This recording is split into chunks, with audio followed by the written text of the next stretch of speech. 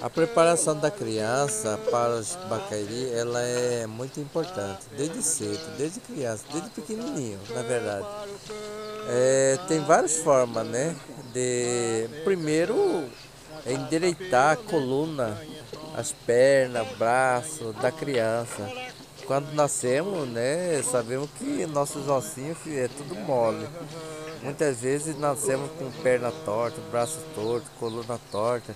Então, para evitar isso, os avós fazem esse processo com as crianças. Pega a folha, esquenta no fogo. Tem que ser folha nova, aquelas folhas bem novinhas. É, então, eles passam na perna da criança endireitar, é, para os ossinhos ficar durinhos. Então, esse processo acontece de manhã cedo, bem de manhã cedo tem que ser bem cedinho mesmo, quando a criança já acorda, eles fazem esse processo. Dizem que é muito é, importante fazer isso, né? Na cultura do povo bacairi.